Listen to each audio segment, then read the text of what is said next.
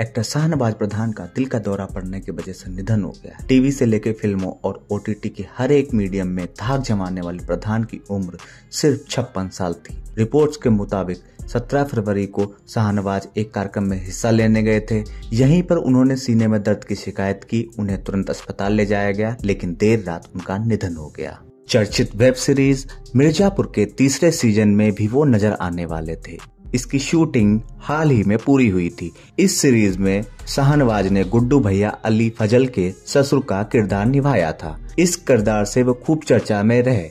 इस सीरीज़ में उनके कैरेक्टर का नाम परशुराम गुप्ता है। साथ ही लीड एक्टर सुजय त्रिपाठी गोलू और स्वीटी के पिता भी रहते हैं।